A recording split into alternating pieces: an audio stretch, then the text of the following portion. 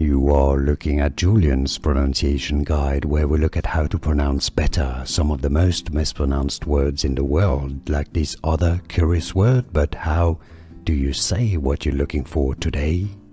Let's learn how to pronounce the name of this French journalist from history for more French names, more pronunciation. Stay tuned. French pronunciation Edmond Edmond Plauchut Edmond Plauchut.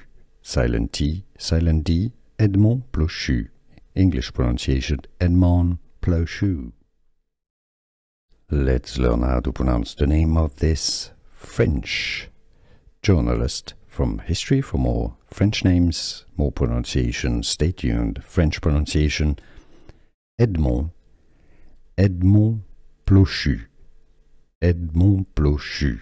Silent T, silent D, Edmond Plauchut. English pronunciation Edmond Plauchut.